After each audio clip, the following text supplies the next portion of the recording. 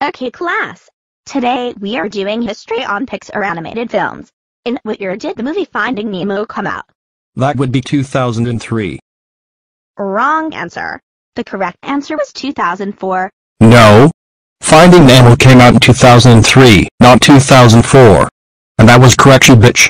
Give me an A plus before I burn this school down to the ground. Oh, oh. Alexander, how dare you curse at me? That's it. I have had enough of your behavior. Go to the principal's office now. So Alexander. Why are you here? You are not going to be happy about this. I cursed at the teacher. Oh, Alexander, you know you are not allowed to curse at teachers. That's it. You are suspended for eight days. Go go right, right now. You're so grounded, grounded, grounded, grounded, grounded, grounded, grounded, grounded for 36 months for cursing at your teacher.